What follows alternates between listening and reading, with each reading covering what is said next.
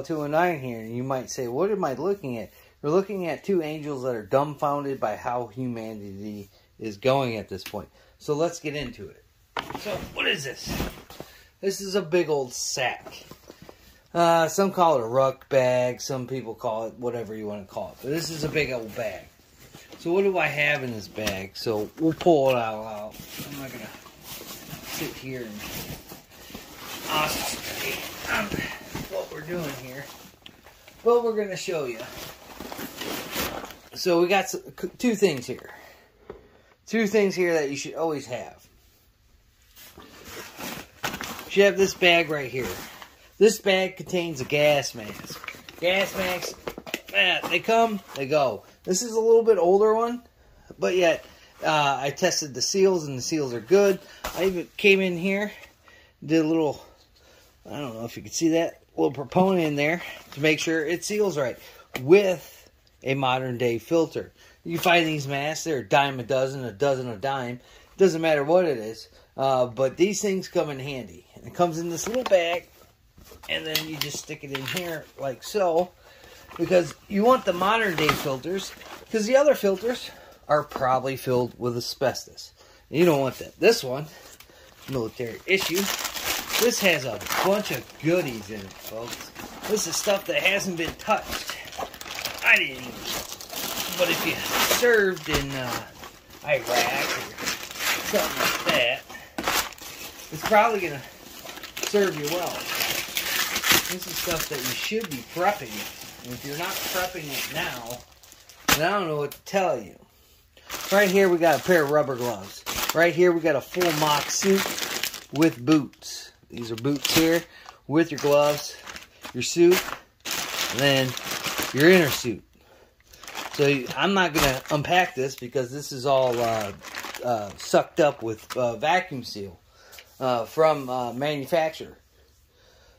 So in essence of what we're all seeing with uh, the state of the of the world and the congestion that uh, everybody's choking on right now. Uh, this is stuff that you should seek out. This is stuff you should prep. I'm not telling you to prep food. I'm not telling you to prep ammunition. Not even guns, because we all have ammunition and guns, or you should anyways. Uh, and you should have a little bit of food, something to throw in there. Because I'm going to tell you, when you start throwing on the gas mask and all that stuff, it's pretty hard to see. And digging in your bag is something you really don't want to do. You want to focus downrange on your target, whatever you're doing.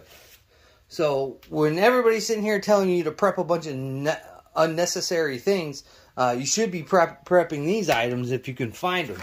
So if you're going down to Tulsa in April, this is the stuff you should be looking for. You should be looking for your oversized boots. You should be looking for your gloves. And you should be looking for your mop suit. And you should always take this stuff, put it in this little baggie that I have right here.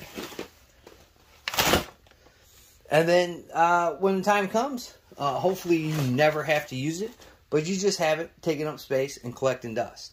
So uh, hopefully, you know, with everybody else talking about prepping stuff, you should be prepping this stuff. You should be prepping gear. Um, again, we all have guns. We all have the guns that you're going to take. Uh, if something goes south and you can't sit in your little palace of, of 1,400 pounds of food or whatever you're stocking, but I'm going to tell you right now, if something catastrophic would happen, I guarantee you're not sitting in your place. I guarantee you're you're leaving the blast zone, you're leaving the blast radius, and you're getting somewhere where you need to be. Hey, I'm just saying if worse comes to worse. And I'm tired of talking about it. I'm tired of people asking me what I should, shouldn't do. You should already know these techniques. You should have been taught these techniques from a long time ago. And if not, you should have been like getting filled in on the skinny uh, right away when uh, before all this stuff happened, when other things in society started to break down. This is the stuff that you should have already pre- prepped and prepared uh, in case you have to use it. I hope to never use this stuff. This stuff is something. If it if I'm using this stuff, this is uh, this is a life or death situation. So uh, prep your stuff. I mean, if you want to continue pile thousands upon thousands of of, of useless food, that's going to get uh, covered in radiation, uh, that's on you. Uh, at least, you know, you can have a last meal. So hopefully this will help you up of what to start prepping for, what gear you should be looking for. Should be looking for a gas mask. Should be looking for a mop suit. Should be looking for the things that come together with a mop suit, even if it's a little iffy, iffy uh, with some of the things you should uh, you come across in your lifetime. These are the things you should be prepping at this moment.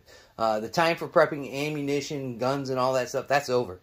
This is it. So, uh, heed the warnings. Do this. You may never need it, but it's better to have it and not need it than to need it and not have it. Thanks for watching.